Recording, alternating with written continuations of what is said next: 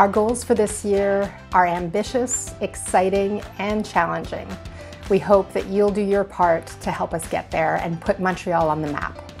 This November 27th, we want to raise $1 million at least. We want to have 100,000 hashtags using Mardi or hashtag Giving Tuesday MTL.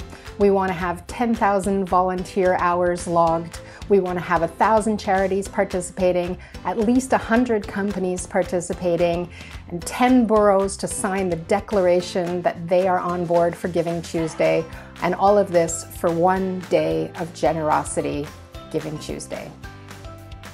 Giving Tuesday is more than about raising money. It's about raising hope, raising your hand, and raising each other up.